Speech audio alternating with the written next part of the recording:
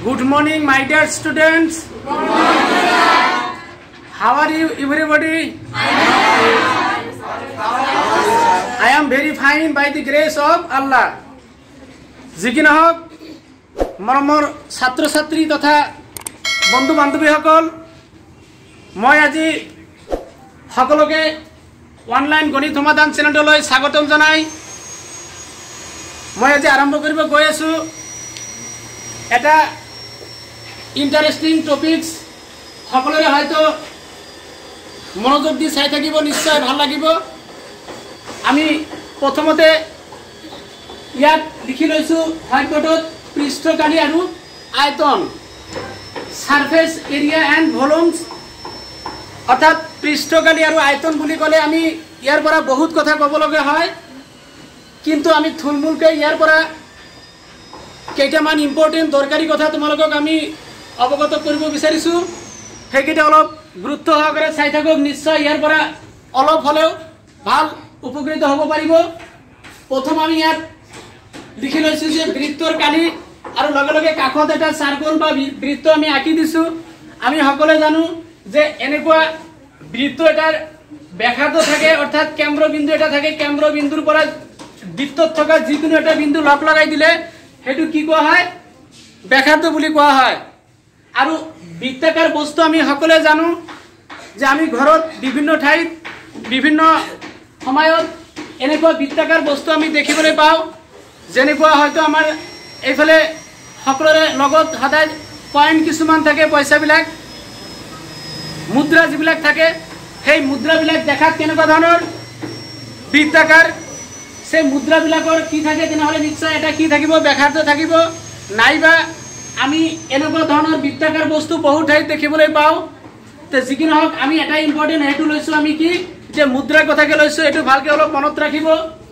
আৰু সেই মুদ্ৰাৰ যিটো পিঠি আমি সকলোৱে জানো সেই পিঠিৰ অৰ্থাৎ সেই তাকে কি কোৱা হয়? পৃষ্ঠ। অৰ্থাৎ ইয়াত কোৱা হৈছে বৃত্তৰ কালি। অৰ্থাৎ কালি মানে আমি ইয়াৰ কালি কেনেকৈ নিৰ্ণয় কৰিম? এই যে যিখিনি ঠাই এই বৃত্তাকাৰ বস্তুটোৱে যিখিনি ঠাই আগুৰি আছে সেই ঠাইখিনিক আমি কি ক'ম? বৃত্তৰ যিখিনি গোটেইখিনি ঠাই এইখিনি হ'ল আমাৰ বৃত্তৰ পৃষ্ঠ। এতিয়া ইয়াৰ পৰা এটা বস্তু মন কৰিব যে আমি আৰু এটা এক্সাম্পল চুইটেবল এক্সাম্পল লৈছোঁ। সেইটো হ'ল যেনিবা আমি সকলোৱে চলাই থাকোঁ যিবিলাক চাইকেল। চাইকেল আমি সকলোৱে চলাওঁ আৰু তাত খুব ধুনীয়া চাব সকলোৱে যে মাজত এটা কি থাকে চাইকেলৰ কেন্দ্ৰবিন্দু এটা থাকে চকাবিলাকৰ মাজত। আৰু তাত স্পকবিলাক এনেকুৱা ধুনীয়াকৈ সজাই দিয়া হয়। আৰু সেই স্পকবিলাক যদি কেতিয়াবা বেকা হৈ যায় বা অলপ ইফাল সিফাল হয় কেতিয়াবা কম বেছি হৈ যায় তেতিয়া আমি কওঁ যে আমাৰ চাইকেলৰ চকাখন টাল হৈ গ'ল। আৰু তেতিয়া বৃত্তাকাৰ চাৰ্কল নাথাকে তেতিয়া হয়তো চেপেটা হৈ যায়। গতিকে সেই একো একোটা যিটো আমাৰ স্পক বুলি কওঁ সেই স্পকটোৱে হ'ল আমাৰ কি? ব্যাঘাত। আৰু এনেকে দুটা স্পক যদি লগাই দিয়া যায় তেনেহ'লে সেই দুটা মিলি কি হয়? বৃত্তটোৰ ব্যাগ তে যিয়ে নহওক আমি কেৱল ইয়াৰ পৰা এটা ফৰ্মুলা তোমালোকক কৈ দিছো সেইটো হ'ল বৃত্তৰ কালি। এতিয়া বৃত্তৰ কালিৰ ফৰ্মুলাটো আমি সকলোৱে জানো কি লিখিব পাৰো? পাই আৰ স্কুৱাৰ আৰু এককটো এতিয়া যদি ইয়াত চেণ্টিমিটাৰ হয় তেনেহ'লে চেণ্টিমিটাৰ বৰ্গ চেণ্টিমিটাৰ ইয়াত লিখা হয়। আৰু যদি মিটাৰ হয় তেনেহ'লে বৰ্গ মিটাৰ লিখা হয়। অৰ্থাৎ এই বৃত্তৰ কালিৰ ফৰ্মুলাটো মনত ৰাখিব কেনেকুৱা? পাই আৰ স্কুৱাৰ ইয়াত লিখা যায় বৰ্গ একক এনেকে লিখিলেও হ'ব। এককটো যেতিয়া তোমাৰ চেণ্টিমিটাৰ হ'ব তেতিয়া আমি চেণ্টিমিটাৰ লিখি দিম। যেতিয়া মিটাৰ হ'ব তেতিয়া লিখিম বৰ্গ মিটাৰ বুজিব পাৰিছে না সকলোৱে এতিয়া আৰু এটা ইয়াৰ পৰা ইম্পৰ্টেণ্ট বস্তু ভালকৈ চোৱা যে আমি যেতিয়া বৃত্তৰ কালি ফৰ্মুলাটো আমাক লাগিব তেতিয়া আমি এনেকে আমি কম পাই আৰ স্কুৱাৰ য'ত ইয়াত লিখিম আৰ মানে কি বুজাইছে ইয়াত? আৰ মানে সকলোৱে মনত ৰাখিব এইটো কি ব্যাসাৰ্ধ? আৰ মানে ইয়াতে ব্যাসাৰ্ধ এনেকে মনত ৰাখিব। ৰেডিয়াছ এতিয়া এই ৰেডিয়াছ আৰ মানে কি কোৱা হ'ব ৰেডিয়াছ মনত ৰাখিব যে বৃত্তৰ কালিৰ যেতিয়া ফৰ্মুলাটো হ'ব পাই আৰ স্কুৱাৰ বৰ্গ একক। এতিয়া আমি আৰু এটা কাষত আৰু এটা পিক্সাৰ লৈছো এইটো কি আছিলে? চুঙা। আমি অলপ আগতে আমি এটা কথা কৈ থৈছো সেইটো কেনেকুৱা ধৰণৰ?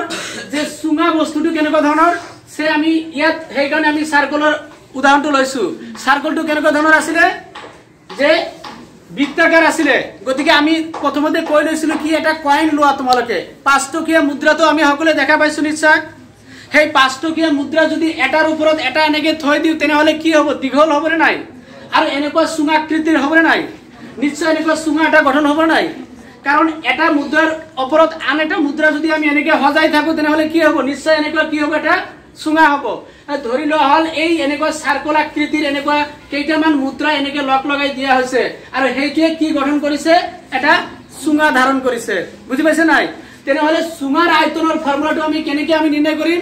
অতি সহজতে ভাল লাগিব চোৱা এইটো যে চুঙাৰ আয়তন যিহেতু আমি অলৰেডি আমি পাই গৈছো যে চাৰ্কল বা বৃত্তৰ যিটো কালি আছিলে কালিটো কিমান আছিলে? পাই আৰ স্কুৱাৰ কিন্তু যেতিয়া আমাৰ ইয়াত চুঙা যেতিয়া তৈয়াৰ কৰা হৈছে ইয়াত কি হৈছে?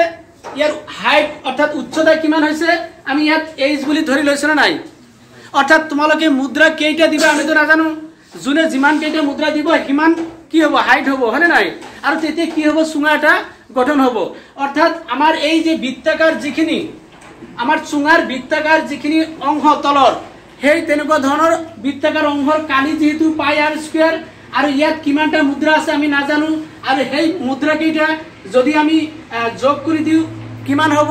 আমি নাজানো গতিকে আমি কি কৰিম? ইয়াৰ হাইটটো যিমান হয় ধৰি লৈছো আমি কিমান এইচ কেৱল মাত্ৰ এইচেৰে যদি আমি ইয়াক গুণ কৰি দিওঁ তেনেহ'লে সেইটো কি হ'ব? এনেকে লিখিব পাৰি পাই আৰ স্কুৱেৰ এইচ কিমানটা মুদ্ৰা আছে আমি নাজানো। ধৰি লৈছো পাঁচটা মুদ্ৰাই আছে। তেনেহ'লে ফাইভেৰে এই বৃত্তাকাৰ যিটো চাৰ্কলৰ কালি আছিলে সেই কালি কেৱল মাত্ৰ উচ্চতাৰে পূৰণ কৰি দিলে এইটো তোমাৰ কি হৈ গ'ল? চুঙাৰ আয়তনৰ ফৰ্মুলা বুজি পাইছে না সকলে? বুজাব পাৰিছো? যে চুঙাৰ আয়তনৰ ফৰ্মুলাটো ক'ৰ পৰা আহিল? বৃত্তৰ কালিৰ পৰা। কাৰণ বৃত্তৰ কালিৰ ফৰ্মুলাটো কি দি আছে? পাই আৰ স্কুৱেৰ আছিলে। আৰু যিহেতু হাইট হ'ল কিমান হাইট হ'ল এইটো নাজানো গতিকে এইচ হাইটটো ধৰা হৈছে কিমান? এইচ কেৱল মাত্ৰ এইচেৰে গুণ কৰি দিলে এইটো হৈ গ'ল চুঙাৰ আয়তন। আৰু ইয়াত এককটো এনেকে লিখি দিব পাৰি ঘন একক। কাৰণ যিহেতু ইয়াত আয়তন বুলি কোৱাৰ লগে লগে তাৰ এককটো মনত ৰাখিব ঘন একক। এতিয়া শংকুৰ আয়তন আৰু এটা বস্তু লিখি লৈছো শংকুৰ আয়তন। শংকু কেনেকুৱা ধৰণৰ? আমি সকলোৱে জানো এনেকুৱা ধৰণৰ আইচক্ৰীমেই হওক বা এনেকুৱা ধৰণৰ বিভিন্ন ধৰণৰ আমি এনেকুৱা ধৰণৰ বস্তু আমি দেখা পাওঁ যে চুঙাকৃ শংকু আকৃতিৰ বস্তু। এতিয়া শংকুৰ লগত ইয়াৰ আমি ৰিলেটেড এটা বস্তু লৈছো। কেনেকুৱা ধৰণৰ? আৰু ইয়াতো পিকচাৰ এটা ধুনীয়াকৈ আঁকি দিছো। এই চুঙাটোৱে এতিয়া চে আমি ইয়াত ফপলা বুলি ধৰি লৈছো আৰু ইয়াত ধুনীয়াকৈ এটা টানি দিয়া হৈছে এটা ৰেখা। আৰু এইটোৰে ভাগ কৰাত কি হৈছে কেইটা ইয়াত শংকু হৈছে নে নাই? এটা চুঙা আছিলে সেই চুঙাটো এনেকে টানি দিয়াত কি হ'ল? শংকু হৈ গ'ল। গতিকে শংকুটো কাৰ লগত ৰিলেটেড আছে? চুঙাৰ লগত। এতিয়া আমি জানো চুঙাৰ আয়তনৰ ফৰ্মুলাটো এইটো পাই গলো। এতিয়া শংকুৰ আয়তনৰ ফৰ্মুলা কেনেকে পাই যাম? যদি এটা কথা ভালকে মাইণ্ড কৰিব এইটো চুঙা আৰু কি আছে শংকু এই দুটা বস্তু আমি একেলগে ইয়াতে আঁকি দিছো। কিয় আঁকি দিছো? কাৰণ এই ইয়াত চুঙাটো যেনেকুৱা ধৰণৰ আছে শংকুটো তেনেকুৱা একেবাৰে চিষ্টেম ইয়াত হাইট একে ৰাখিছো দুটা বস্তুৰ। যদি হাইট একে হয় অৰ্থাৎ এই যে চুঙাৰ যিটো আমাৰ বেখাৰ্দ বেখাৰ্দ ইয়াৰো যদি আৰ হয় ইয়াৰো বেখাৰ্দ যদি আৰ হয় অৰ্থাৎ এনেকে আমি চুঙাৰ কি লিখিব পাৰো এইটো উচ্চতা।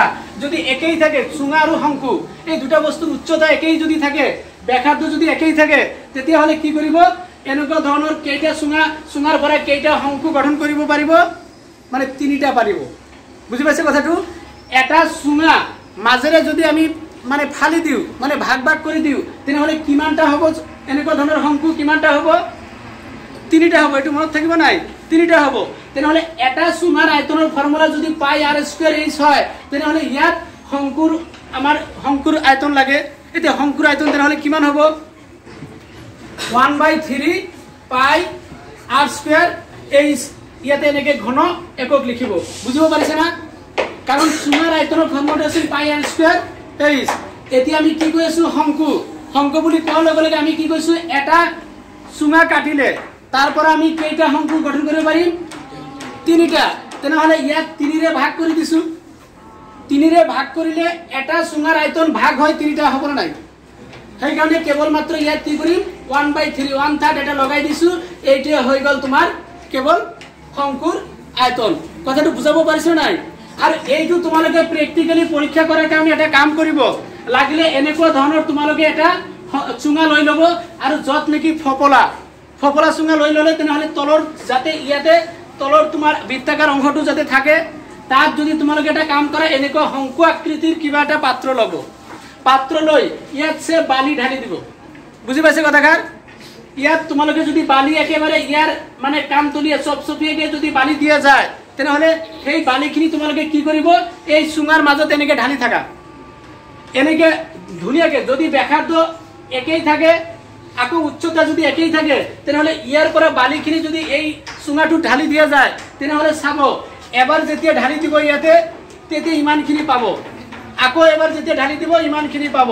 আকৌ এবাৰ যেতিয়া ঢালি দিব এনেকে তিনিবাৰ যদি এনেকে ঢালি দিয়ে তেতিয়া সেই চুঙাটো কি হ'ব? ভৰ্তি হৈ যাব। সেইকাৰণে কি কোৱা হৈছে? চুঙাৰ আয়তনৰ ফৰ্মুলাটো হ'ল পাই আৰ স্কুৱেৰ এইচ আকৌ শংকুৰ আয়তনৰ ফৰ্মুলাটো হ'ল কিমান? One third pi r square h তাৰমানে চুঙাত যিমান আয়তন আছে সেইখিনি শংকু যদি আমি তৈয়াৰ কৰিব যাওঁ তেনেহ'লে ইয়াৰ পৰা তিনিটা শংকু গঠন হ'ব। তে যিয়ে নহওক মৰমৰ ছাত্ৰ ছাত্ৰীসকল নিশ্চয় ইয়াত যদি কিবা ক'ব লগা থাকে ক'ব পাৰে আৰু যদি বুজি পাইছে নাই সকলোৱে এই বস্তুখিনি। তে যি কি নহওক আমি আজিৰ এই ভিডিঅ'টো ইয়াতে আমি সামৰিব গৈ আছোঁ। সকলোৱে কিমান ইয়াৰ পৰা উপকৃত হ'লে নিশ্চয় আমাক পাৰিলে কমেণ্ট বক্সত জনাব। আজিৰ ভিডিঅ'টো তেনেহ'লে সকলোকে ধন্যবাদ জনাই। ইয়াতে সামৰিছোঁ। পৰৱৰ্তী পুনৰ নতুন টপিকছত লগ পোৱাৰ প্ৰতিশ্ৰুতিৰে ইয়াৰে সামৰিছোঁ। ধন্যবাদ।